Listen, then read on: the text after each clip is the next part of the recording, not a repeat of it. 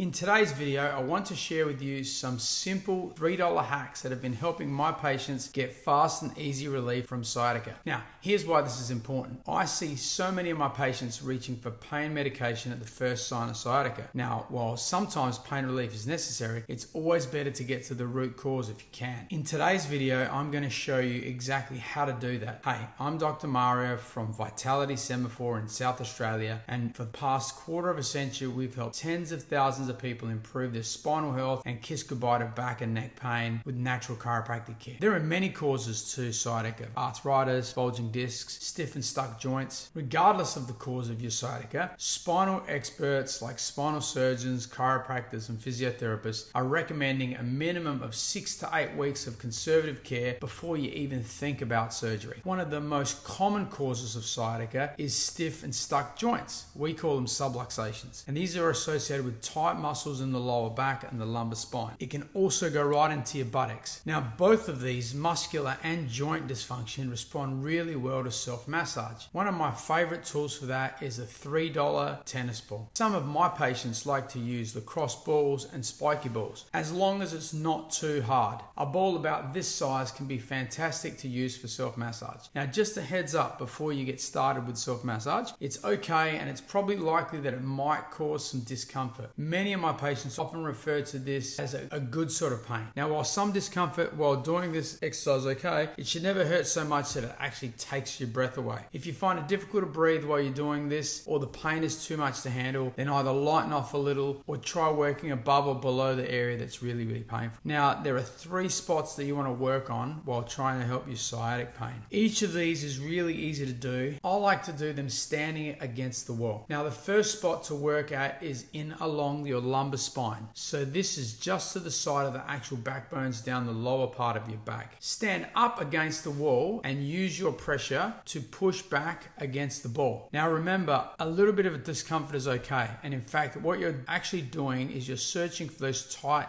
tender spots. You might even find that when you're pressing on some of these spots, it actually increases the sciatica down your leg. That's okay, just be gentle with it as well. So up and down, search for the tight spots. Maybe even try to wriggle it left and right. Now, the second spot that you actually want to get into is in along one of the pelvic joints. We call this the sacroiliac joint. So this is just out from the center of your pelvis and again, pushing your back flat against the wall, up and down, a little wiggle left and right. You're moving the tennis ball up and down about five, maybe 10 centimeters at tops. And again, when you find those tender stops, stop on them and increase the pressure a little bit and then wriggle around. Now, the third spot you're going to get into is deep into the buttocks. And this one here, rather than pressing it flat against the wall, you kind of want to press against the wall on a little bit of an angle. In fact, we're looking at working the muscle deep inside of your buttocks, a muscle we call the piriformis. This is often one of the big players when it comes to sciatica. So again, we're going to work in and around that area, deep in the middle of your butt, up and down and around some circles. You'll notice that my legs are kind of angled back so I can push in quite firmly against the wall here as well. Now, just an important point here, if you're using a spiky ball, this can sometimes mark your wall, just so you know. So you might want to make sure that you have something against the wall here so that it doesn't matter whether it gets damaged or not. Now, many of my patients will start to see relief within as little as 24 hours of starting these exercises, but it can take up to two or three days. If you can do these exercises every hour, great. Probably don't need to do it that much, but you can if it's giving you relief. If you're not seeing results within two to three days, then an examination with someone like a chiropractor might be a really good idea. Like I mentioned earlier on, we've been helping patients for over a quarter of a century and we see great results depending on case to case and what we find. If you need help with your sciatica, let us know. Generally responds well to